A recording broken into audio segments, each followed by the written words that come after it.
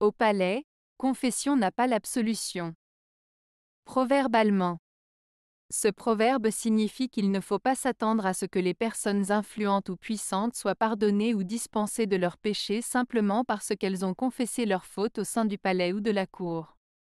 En d'autres termes, la confession n'est pas suffisante pour obtenir le pardon si les actions ou les conséquences sont graves ou immorales.